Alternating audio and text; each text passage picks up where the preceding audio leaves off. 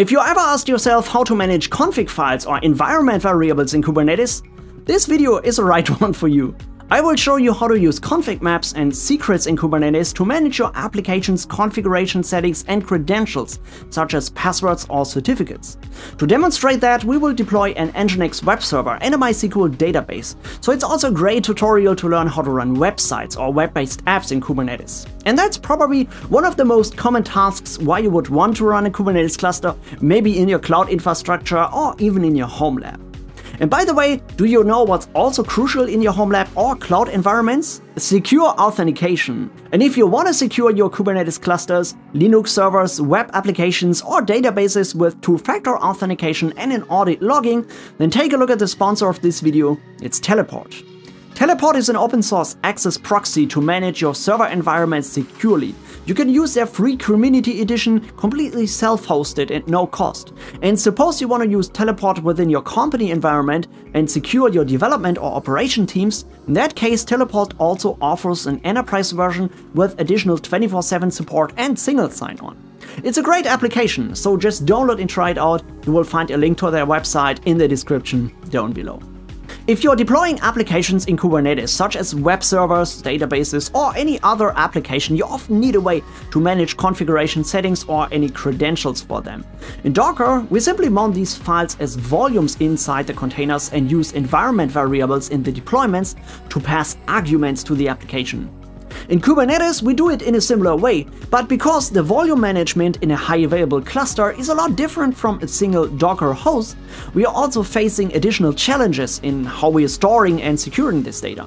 Remember when we discussed local storage and shared storage in a cluster in my last video?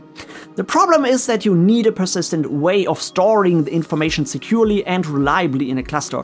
For example, if you want to run a MySQL database, you need to somehow store the root user's password for the application. Or if you want to run a web server, you might want to inject a specific configuration settings such as header information or other server settings you want to change.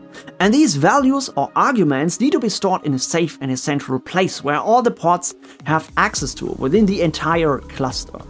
And that's exactly why we're using config maps and secrets in Kubernetes, because these objects are Kubernetes resources, and they are stored like any other resource, like the pods, the deployments, or the services in the central configuration database of Kubernetes. The first resource type I want to talk about in a bit more detail is a config map, and config maps are used to store key value pairs. As for example, if you want to pass some environment variables into your deployments, you can use a config map to store these values.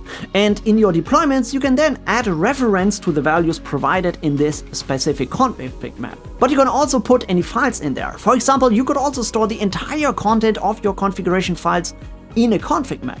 And this is very useful because then you don't need to mess around with files within the container's file system. You can just edit the config map if you might want to change the configuration of your deployment.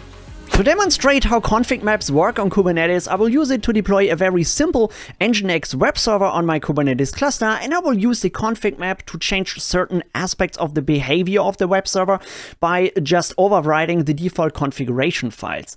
And uh, by the way, if you want to take a look at all the different YAML manifests and you just want to follow the tutorial along, then just go to my personal GitHub page, you will find a link in the description down below, and then navigate to my boilerplates repository inside the Kubernetes templates and then CM and secrets folder, which stands for config maps and secrets. And then you will find a list of all the different YAML manifest files I'm using in this tutorial. And we will start with the first file, which will declare a simple config map where we put the configuration file for our Nginx web server in.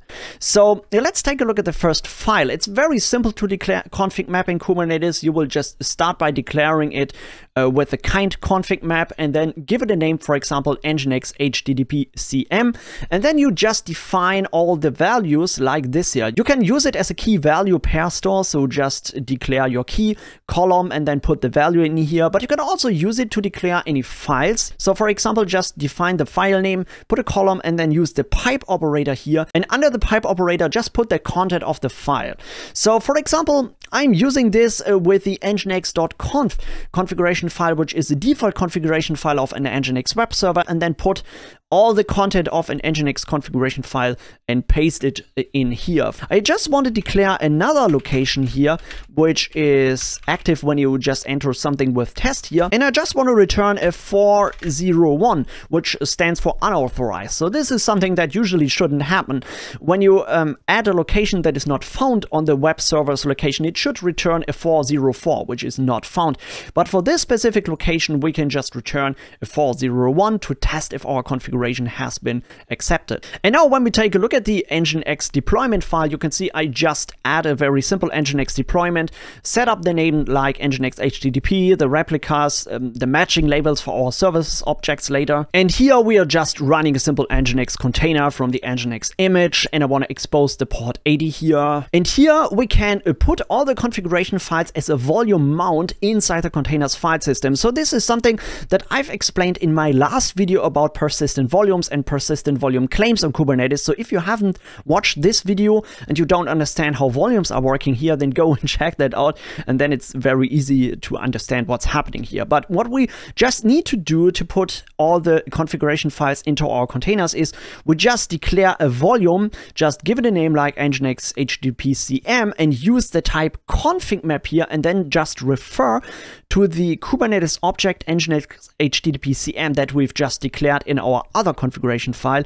And then it will just take every file that is declared here, so you can also declare multiple files, for example, and will mount it inside the mount path of our container's volume mounts here. So for example, this nginx.conf file will be placed in this location here, and that will just override the default configuration file of our nginx web server. Let's also take a look how that works when we deploy those resources. So first of all, I just want to deploy the config map here that I'm going to use in my deployment manifest. And then just start deploying our Nginx web server here by using the deployment manifest. So you can also check if your pods are running here by just get any pod resources and you should see that a new container or a new pod is now created with the Nginx web server that is currently up and running here. So if you want to check what's going on inside here, you can also open a shell inside the container here by just execute an interactive terminal here on this pod and then paste in a bin a bash terminal here to open a shell inside this container. And then we can go into the etc nginx folder. Let's do an ls command here. And you can also see there is our file that we've declared in the config map and mounted via a volume into the container's file system. And if we cat this file, you can also see all the changes that we've declared in the config map into the container's file system. So let's also check if that's working by exposing this web server and I'm going to use a simple load balancer object so I've explained this in my Kubernetes beginner tutorial how this stuff is working and I just want to expose this HiPod here on my Kubernetes cluster so I can run a test connection from my um, terminal to the Kubernetes service here.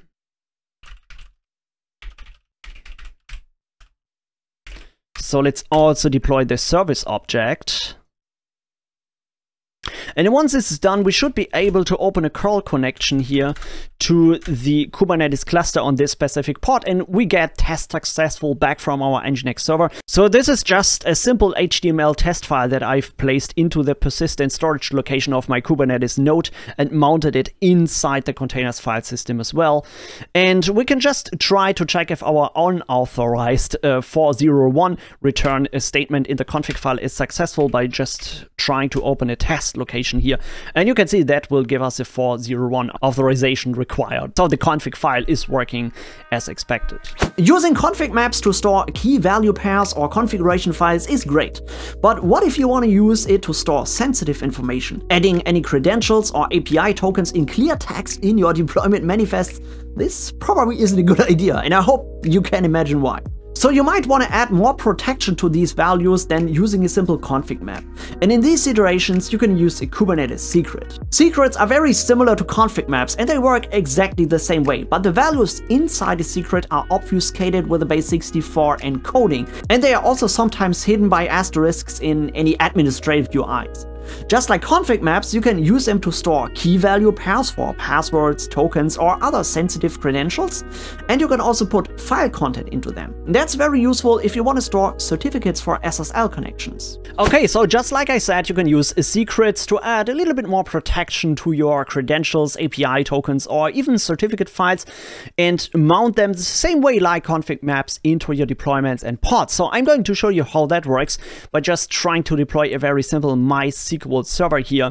And this is the deployment file. It's very, very similar to um, the Nginx web server, but with one difference. We want to avoid storing any credentials like the MySQL root password in our environment variables here. So what I'm doing here is I'm just running a simple uh, MySQL server and I just want to declare the MySQL root password. Usually I would need to put all the values of the environment variables in my deployment manifest, but I'm not going to do that. I will replace this with a secret file. So first of all, let's create our Kubernetes secret resource and I'm using the MySQL dash secret object here. So just declare another object from the kind secret and then just give it a name like MySQL secret and then you need to declare a secret type. So this opaque, I don't know if that's the right way to pronounce it, I'm sorry, but uh, this uh, type defines a generic um, type of secret. But you can also see in the Kubernetes documentation, there are different types of secrets here. So this is an arbitrary user-defined data, but you could also use it to create service account tokens Docker configuration, Docker uh, config basic authentication, SSH, and even uh, a data for TLS server or um, a bootstrap token data. So whatever that means. So we're using this generic type because that can be used for anything. You might want to use it in environment variables or for certain files. It doesn't really matter. And in the documentation, you can also see that you can create those resources with a command here. So with the kubectl create secret, you can just generate an empty secret manifest and then change change the values inside here. But you actually don't need to do that. You can just define your file um, in the first place and then just apply the resource like any other resource on Kubernetes here. And what we're doing here is we're setting the type to opaque and then use the attribute string data. So what happens is when you use the type string data is you can put anything in a regular string inside this file. And once you apply this resource to your Kubernetes cluster, it will be encoded with base 64. So for example, just define your key values here. So define your root path and give it a value like test123. And, and then we want to apply this resource here. And inside our MySQL deployment here, we want to replace this clear text password with a reference to our secret. So what we need to do is we need to change this value here to a value from. And then we can add a secret key reference and we need to give it the name of our secret resource. So for example, MySQL secret. And then we also need to define the key, otherwise Kubernetes doesn't know which key should we refer to, and we will use the name of the key, the root path. So just enter key column and then the name of the key you want to reference. So this should also work. I'm not using any persistent volume mounts here to store the data on the server because I don't need that now. Usually if you want to run a MySQL database, you should also define a volume that stores the MySQL data in a persistent volume or however you want to store it. But for this secret example, we will just use this simple deployment. So back in the terminal, we first of all want to deploy our secret, of course, otherwise the deployment wouldn't uh, look up this secret appropriately. So once this resource has been created, we can also get all the different resources in Kubernetes here. So for example, if you want to get all the secrets in the current namespace, you can also query them here.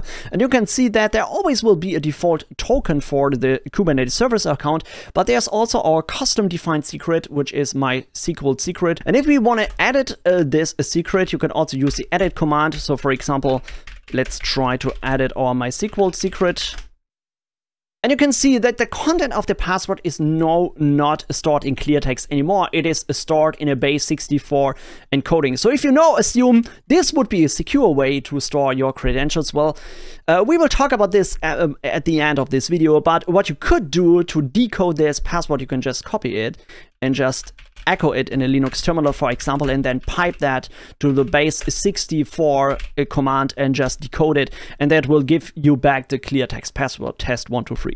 Okay, so that's not what I wanted to show you. Instead, let's try to apply our MySQL deployment here. So let's run this. And to check if our password has been applied successfully to our deployment, let's also open a shell inside our port here. And then we simply can execute the MySQL client command to open a connection into our SQL server here and use the password test123 we have defined in the secret. And you can see this is now working and the deployment has set our password.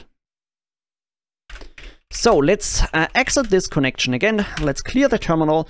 And I also want to show you how to use secrets to store any sensitive files uh, in a deployment. For example, if you want to run an Nginx web server and you want to use it to store any certificates that you have defined or you want to upload to your applications, you can also do that. So in the second deployment of our Nginx web server, you can see that we are defining now an Nginx HTTPS server that will not just run an unencrypted Nginx web server, but an encrypted connection with self-signed certificates we want to upload to our Kubernetes cluster.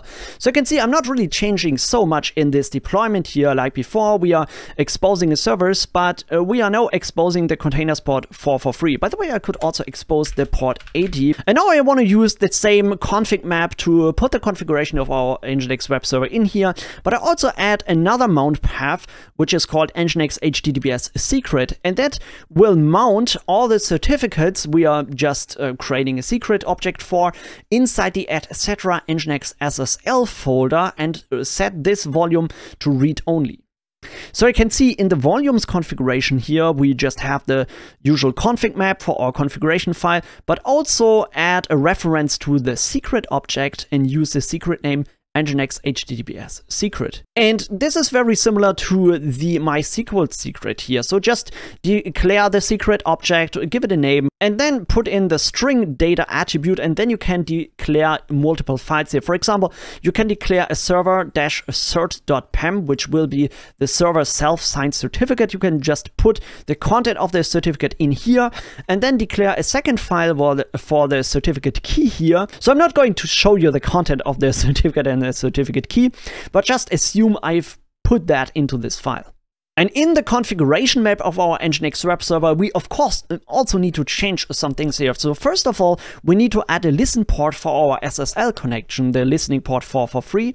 And then we also need to reference our SSL certificate and certificate key files. And once you've set up everything correctly, you just reference to the correct files and put them into the correct folder. We can now start deploying our resources here. By the way, I also changed the service object a little bit because I needed to add another port for the HTTPS connection. So let's first of all start with deploying our config map, then the secret, the deployment, and last but not least, our service object here. And let's try to query if the pod is up and running here. So let's try to get all the pods and everything is running. So that should be fine now. So now in our curl request, we need to change the port from HTTP to HTTPS. And I also am using a different port here, try to get the 443 port, which should give us a connection from our self-signed certificate. You should also see an error message here, if I'm correct. Yeah, this is because I've used a self-signed certificate, which is generally not trusted. Uh, but we can also skip that check with the dash k parameter, and then we should get back the content of our server. And the same should also work for the HTTP connection on the same server, so let's also check that and everything is up and running now. And if you now assume, well, this is a great way to deploy any kind of website, web application and protect it with SSL certificates, yeah, this is one possibility, but there's also a better option how to do that by using ingress controllers and reverse proxies in Kubernetes. Uh, by the way, this will be the part of any future videos in my Kubernetes tutorial series here on YouTube. So if you want to learn Kubernetes together with me, then just take a look on my YouTube channel. I also put you a link to the video series in the description description down below, and then we can learn all this stuff together. Okay guys, so I hope this helped you to understand config maps and secrets in Kubernetes. If you're now wondering if using a secret is the best and the most secure way to store credentials and sensitive information, well, you should always consider that the content of the secrets is stored in clear text in the etcd. Yeah, they might be using a base 64-bit encoding, but it's actually the same as storing it in clear text because anyone with access to the etcd or the Kubernetes API can just just decode it. However, someone still needs access to it, so access to the API or to the database in the first place. So if you are managing your Kubernetes credentials securely, in that case you don't share it with anyone or you use an authentication proxy like Teleport, then it's still much better to use secrets than storing the sensitive information directly in the config manifests or the containers. But as you can imagine, as it's not the best way to store credentials, I will do another video about it in the future, so stay tuned. And until then, I've put you another great video to watch next in the description of this video. So thanks everybody for watching and I'll catch you in the next one. Bye bye.